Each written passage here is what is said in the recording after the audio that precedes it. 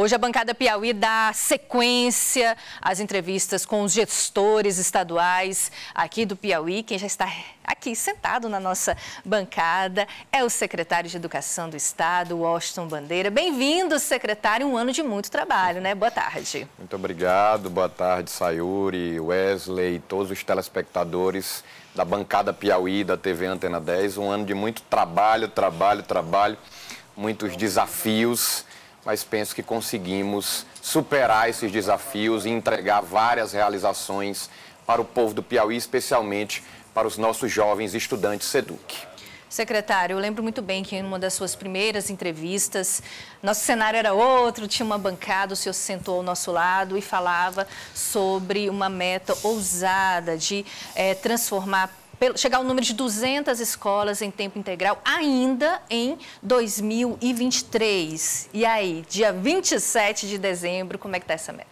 Meta cumprida. Até no meio do ano nós já cumprimos essa meta, transformamos 104 escolas de tempo parcial em escolas de tempo integral. É um processo de mudança complexo, gradativo, então envolve a transformação, a alteração do modelo pedagógico, logística de transporte escolar, alimentação, lotação de mais pessoal, professores e servidores, tudo isso a gente conseguiu cumprir a contento, com êxito, e ainda estamos no processo de intervenções na infraestrutura. Né, adequação da infraestrutura dessas 104 escolas ao modelo da escola de tempo integral que exige salas modernizadas, laboratório de ciências, laboratório de informática, quadra poliesportiva, biblioteca, refeitório, enfim. Então nós fizemos várias entregas nesse ano, várias inaugurações, foram mais de 30 inaugurações. Vamos finalizar o ano agora no dia 29, na próxima sexta-feira, com a entrega da reforma, ampliação, modernização, climatização da Escola Barão de Gurgueia lá em União e assim seguiremos no próximo ano com essas intervenções infraestruturais, tanto finalizando as intervenções, as transformações, as obras dessas 104 escolas que se tornaram de tempo integral nesse ano de 2023, como iniciando né, as obras das novas 151 escolas que se transformarão em tempo integral em 2024. Bem-vindo à bancada, secretário. Uh, eu lembro bem que Rafael Fonteles, o governador, ele falava ainda na época da campanha sobre uh, essa modernização através da escola de tempo integral, mas fala também sobre ensino profissionalizante, garantir que as pessoas, o adolescente, enfim, tivesse já acesso a esse contato primeiro. Como é que está realmente ainda esse projeto? Avançou? É exatamente isso, Wesley. O nosso projeto é o de universalização do ensino de tempo integral com o ensino profissional. Então, até 2026, todas as escolas de ensino médio serão de tempo integral com o ensino profissional dentro do currículo, conectando o ensino regular ao mundo do trabalho. Para que a gente prepare, capacite, qualifique os nossos jovens para aproveitarem as oportunidades que estão sendo geradas nesse Piauí do novo desenvolvimento social e econômico trazido pelos projetos que o governador Rafael vem encampando e vem lançando, inaugurando, como é o caso do Porto Piauí, da pedra fundamental do maior projeto de hidrogênio verde do mundo, enfim. Então, só nesse ano nós tivemos novos 15 mil alunos, na verdade, mais de 15 mil alunos, fazendo os novos cursos profissionais que nós implementamos em 2023, relacionados às áreas de tecnologia da informação, os cursos de programação, programação de jogos e marketing digital, uma área bastante promissora, né, de empregabilidade, conectada com esse novo Piauí. Também as energias renováveis, né, nós temos um curso de energias renováveis já rodando neste ano de 2023 e vamos lançar agora em 2024 um específico para hidrogênio verde, eletrotécnica, operação, manutenção de eletrolisadores né, de produção de hidrogênio verde. Também o curso de turismo, com ênfase em empreendedorismo, outro ativo nosso do Piauí, uma grande é, cadeia produtiva, potencialidade que a gente tem que fomentar e, portanto, capacitar, qualificar os nossos jovens. E também a parte de agrotécnica. Nós estamos transformando todos os nossos cursos de agro em um só, agropecuária, né, com a matriz comum e um módulo final focado nas potencialidades de cada região. Então, a região da ovino, caprino, cultura, né, os alunos eles vão receber uma especialização nessa área. A região da agroindústria, do agronegócio, da agricultura familiar, enfim, do leite, tudo isso a gente vai do mel, né, que é muito forte no nosso, no nosso estado, da carnaúba e tantas outras potencialidades que temos. Então, só neste ano, para ficar muito claro para a população, mais de 15 mil matrículas, 15 mil alunos fazendo esses novos cursos e nós vamos quintuplicar no próximo ano e aí seguir para os próximos até universalizar o ensino de tempo integral com o ensino profissional. Só destacando que o Piauí já é o estado com o maior número percentual de matrículas do ensino integral com o ensino profissional. Isso o ministro Camilo Santana da Educação, ele destaca frequentemente nas suas falas. E será o estado primeiro a atingir a média da OCDE, da Organização de Cooperação dos Países Desenvolvidos, né, a média de matrículas no ensino integral com o ensino profissional. Secretário, e sobre o pagamento do abono Fundeb para os servidores da educação? Exatamente. Nós vamos pagar agora em dezembro, seguindo a folha regular, portanto, é, no dia 25, 26, na verdade, hoje, e no dia 30, né, nós vamos pagar a terceira parcela da bonificação do Fundeb. Só neste ano, nós rateamos cerca de 90 milhões de reais de abono Fundeb e 190 milhões de reais do rateio do Fundef, dos precatórios da decisão judicial relacionada ao Fundef. Para ser didático aqui para a população, para toda a comunidade educacional que nos assiste. Nós fizemos uma opção né, definida e validada pelo governador Rafael Fonteles de, nesse ano, diluir o pagamento do abono Fundeb ao longo do ano. Então, ao invés de pagar tudo no final do ano, a gente passou a pagar durante o ano, né, através de uma bonificação quadrimestral, portanto, três parcelas, nós vamos pagar a terceira agora em dezembro.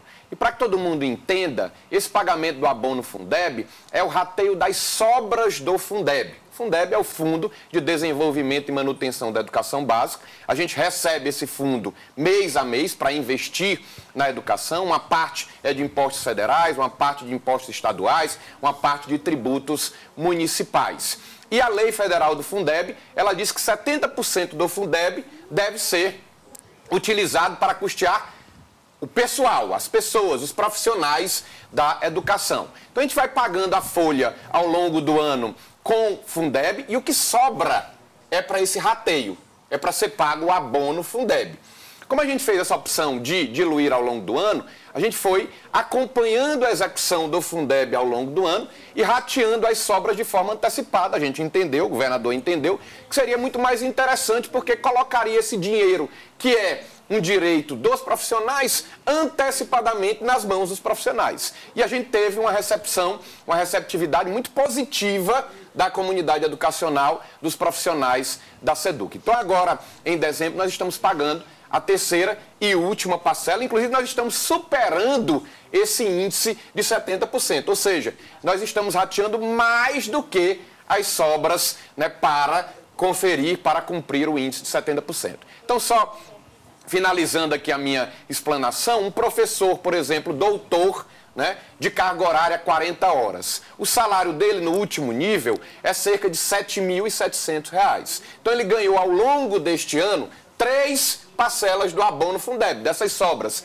totalizando 5 mil reais. Né? Foram é, dois mil reais, dois mil reais e agora mil reais nessa última parcela. Então, se a gente deixasse tudo para o final do ano, ele receberia nessa folha de dezembro mais de 12 mil reais, cerca de 12 mil e 500 reais. Mas a gente fez a opção, o governador Rafael Fonteles, de diluir ao longo do ano para que os nossos profissionais tivessem acesso a esses valores antecipadamente, justamente porque a gente fez uma boa execução do Fundeb ao longo do ano, cumprindo o índice de 70% do Fundeb e também um índice de 25% de custeio de uso né, do tesouro, que são os tributos estaduais, para pagamento é, de pessoal e desenvolvimento da educação. Moderniza SEDUC, ou seja, moderniza Secretaria de Educação. É, é um projeto também que, que envolve uma série de modernizações o aparelhamento realmente da, da educação piauiense. Como o senhor avalia?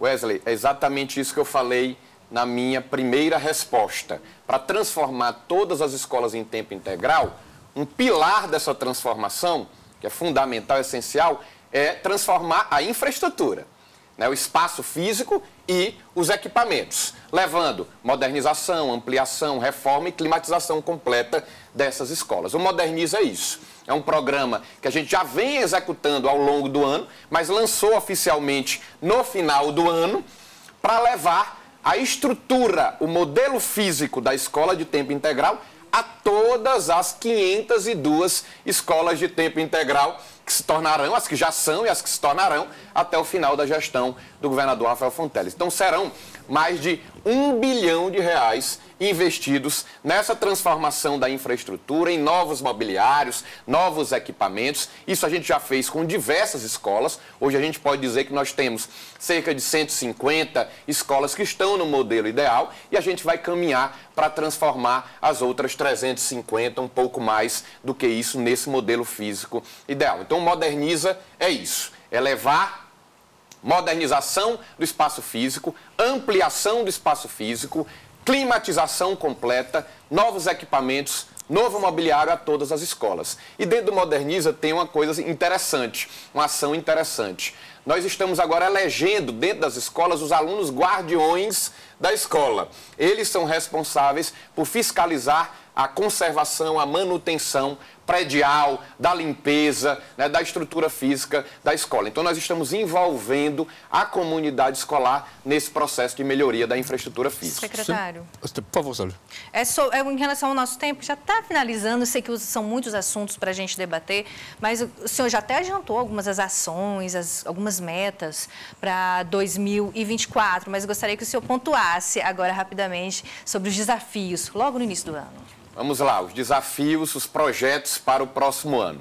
Seguir no Moderniza Seduc, né, melhorando é, e transformando a infraestrutura das escolas para a transformação dessas escolas em tempo integral, expandir as nossas matrículas dos cursos profissionais voltados para essas áreas que eu já citei. E implementar as grandes novidades da nossa escola de tempo integral, a nova escola Seduc educação financeira no currículo, já está previsto para iniciar agora em fevereiro nas nossas escolas de tempo integral, educação ambiental, o projeto de empreendedorismo com MIT, a maior universidade do mundo, a maior e melhor, localizada nos Estados Unidos. Nós vamos levar um curso de empreendedorismo digital e voltado para startups para mais de 30 mil alunos das escolas de tempo integral a implantação da disciplina Inteligência Artificial no currículo, em parceria com o Google. Nós estivemos na semana passada com o governador Rafael Fonteles para avançar nas tratativas para essa parceria. Será para todos os alunos do ensino médio.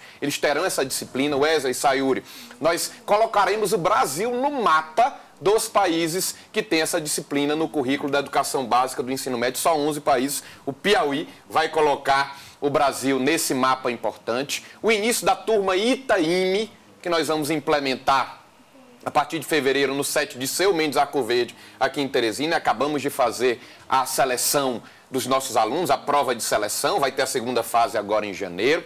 Intercâmbios para os nossos alunos, nós vamos fazer uma competição com os nossos alunos de programação para levá-los aos Estados Unidos e à Coreia. São tantas ações, tudo isso para garantir mais e melhores oportunidades aos nossos estudantes para que eles possam desenvolver os seus talentos e realizar o sonho que quiserem. Vamos universalizar, expandir também o esporte educacional nas nossas escolas. À medida que a gente for transformando a infraestrutura, colocando quadros poliesportivos nas escolas, a gente vai colocar mais esporte educacional nas nossas escolas. E ações culturais, sociais, enfim, relacionadas também à inclusão a educação antirracista, nós acabamos de lançar o maior programa de educação antirracista em escolas da história da SEDUC. Então são essas as novidades, já estão aí no gatilho para implementarmos no próximo ano e também mais valorização profissional. Pagamento da última parcela, do rateio da última parcela do Fundef, mais pagamento de abono Fundeb ao longo do ano, a sinalização que o governador já fez de um reajuste no início do ano, ele vai negociar com todas as categorias o percentual, mais ações de formação, de aperfeiçoamento dos conhecimentos e competências dos nossos profissionais. Enfim, a gente trabalha em todas as frentes para fazer uma educação cada vez melhor e tornar o Piauí uma referência nacional de qualidade educacional.